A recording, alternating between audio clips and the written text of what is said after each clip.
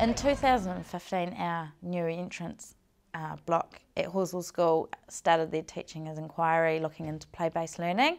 Um, they had lots of success with their five-year-olds coming in that they were finding they just weren't school ready.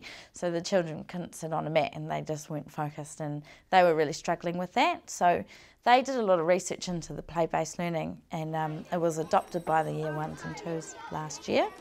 Um, and this year we've transitioned it in to include the year three fours, which is where we're teaching at the moment.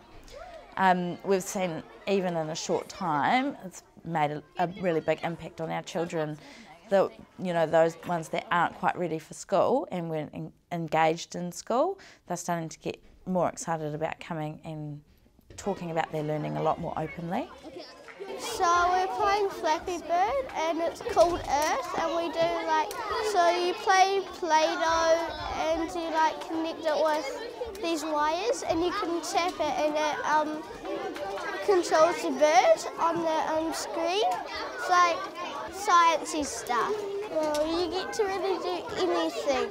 You get to play with a magnet or marbles or you could dress up. Um, I've got an amazing team behind me, so everything that you see is their doing and um, our working together, which has been really inspirational for me, working with amazing people. I think using this particular approach, um, that work is just so much fun. I think we're having the same experiences with the children, so because we've got the time to walk around and interact with all these different children that we've got such great connections and relationships with all the children in the learning studio and not just your own class. Um, our team's approach to teaching and learning is always collaborative yeah. and it's always student centred. So we base all of our planning on um, the children's impulses and act on what they're showing interest in. Um, and then we get together and use our strengths to come up with the best plan to follow their interests? Um, I've made a swing um, out of sticks and um, string.